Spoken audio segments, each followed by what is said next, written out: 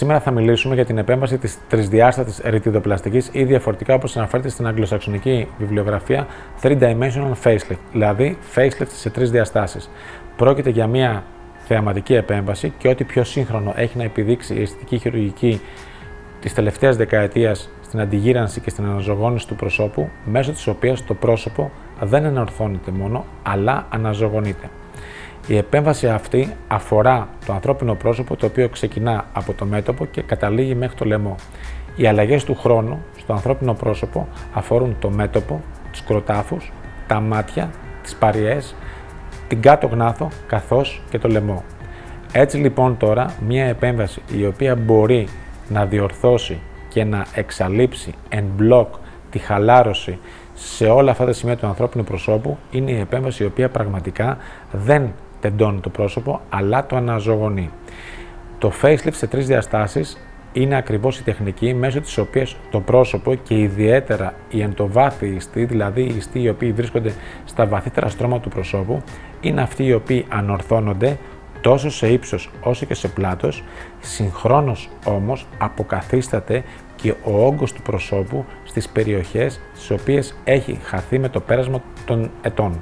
Η επέμβαση αυτή αφορά τόσο τις γυναίκες όσο και τους άντρε, συνήθως εφαρμόζεται μετά την ηλικία των 40, όπου οι αλλαγές στο πρόσωπο και ιδιαίτερα στο μέσο πρόσωπο αρχίζουν να γίνονται πολύ πιο έντονες. Πρόκειται για μια επέμβαση η οποία διαρκεί γύρω στις 4 ώρες. Η ασθενής παραμένει ένα βράδυ στο νοσοκομείο και βγαίνει από το νοσοκομείο την επόμενη μέρα.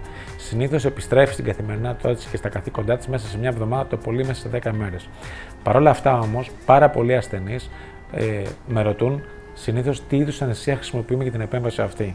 Θα ήθελα να πω κατηγορηματικά ότι η αναισθησία η οποία χρησιμοποιείται είναι η γενική αναισθησία και όχι εσφαλμένα η μέθη όπως πάρα πολλοί ισχυρίζονται ή διαφημίζουν στο ίντερνετ.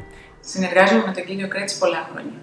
Από την αρχή της συνεργασίας μας, το θέμα της αναισθησίας για τη διενέργεια του facelift μας έχει απασχολήσει αρκετά.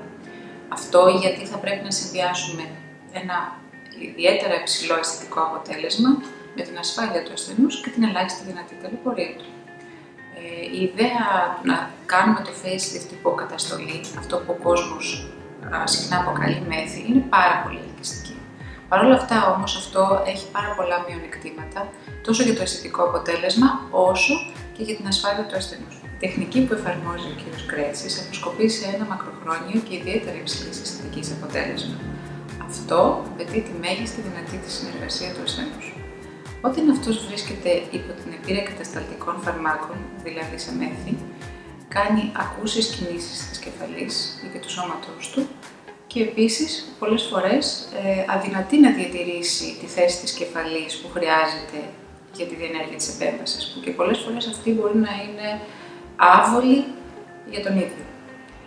Επίσης μπορεί να κάνει ακούσεις μυϊκές εισπάσεις στο πρόσωπό του ή μορφασμούς οι οποίοι δυσχεραίνουν τη διενέργεια της επέμβασης. Αντίθετα, η γενική αναισθησία που έχουμε επιλέξει και να εφαρμόσουμε δεν έχει αυτά τα προβλήματα.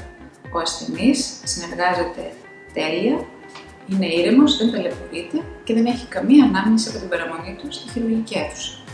Μια άλλη παράμετρος που μας οδήγησε σε αυτή την απόφαση είναι το γεγονός ότι η διάρκεια του 3-dimensional facelift που εφαρμόζει ο κ. Κρέτσης είναι μεγαλύτερη από το, τη διάρκεια του σύνηθες απλού facelift που εφαρμόζεται συνήθως. Επίσης, πρέπει να αναφερθεί ότι ο ασθενής είναι ασφαλής, δεν κινδυνεύει από εξερόφηση και το καρδιακιακό του και το αναπνευστικό του σύστημα βρίσκονται στην πλήρη έλεγχο. Συμπερασματικά λοιπόν τώρα θα ήθελα να τονίσω ότι η επέμβαση της τριζιάστατης ανόρθωσης του προσώπου είναι η μία και μοναδική μέσω της οποίας το πρόσωπο ανορθώνεται, αναζωογονείται και γυρνάει το ρολόι του χρόνου πάρα πολλές δεκαετίες πίσω χωρίς κανένα ίχνος παρεμβατικότητας.